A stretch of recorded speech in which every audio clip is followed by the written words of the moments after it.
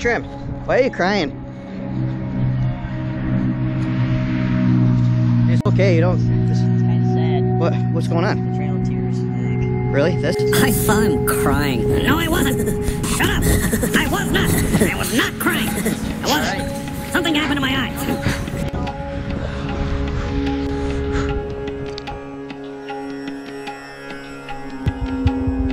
And the Natchez Trace. Jackson Falls is a popular natural area located in Tennessee, in the Duck River watershed. It is known for its beautiful waterfalls, lush greenery, and hiking opportunities. The falls are situated within the States Highland Rim region, within the rolling hills and scenic landscapes. From the same parking area, you are also able to visit Baker Bluff Overlook which offers one of the best scenic views along the entire Natchez Trace Parkway.